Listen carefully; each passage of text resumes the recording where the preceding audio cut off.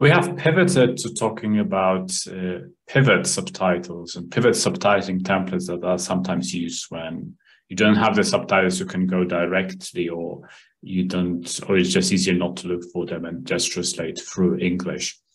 Uh, what are um, are there perhaps some specific challenges, in your opinion, in pivot language translation uh, when it comes to achieving consistency?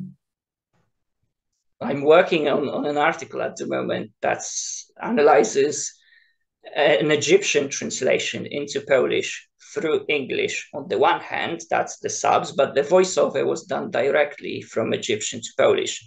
Both of these are available on, Netflix, and both offer slightly different experience to the viewers because Pivot was used in one, and the other one is a direct translation. Hmm. Um, so that's a that's a very interesting case study. Perhaps we can go into more detail on that. So uh, this is, I understand, this is a series in Arabic, in the Egyptian variety of Arabic, and there, you analyze two modes of translation: the subtitles and the voiceover or, or the lecture dubbing. And uh, one of them, you're saying, was done directly, so the translator knew Arabic, and the other was done with the use of a pivot subtitling template, so the subtitle only knew English. I, I assume. And what was the result of that? Um, unsurprisingly, the direct translation from Arabic to Polish is much more faithful, much more accurate than the pivot. But the problem is that the English pivot is not a good translation. I counted errors, for instance, and um, and inaccuracies and so on. And there's, the text is divided into segments, so I use this as a unit of measurement. And I counted segments which contained some errors, inaccuracies, and so on, some shifts. And it turned out that the, the direct Polish translation contains about 1% uh, of segments with errors. The uh, uh, Polish subtitles, which were created from English subs contain four point something percent of segments with errors, and the the the English uh, pivot contains three point something. So you can see that there is a difference of if you disregard the errors that the translator, that the Polish subtitle copied from the pivot, the number of errors is more or less 1% in both.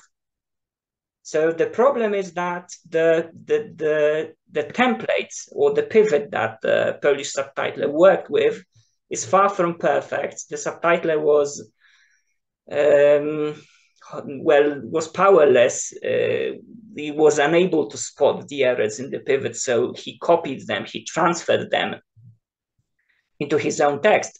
But his own share of problems is very similar to the share of problems that the direct translator had. We always we always make mistakes. You know, none, no translation is perfect.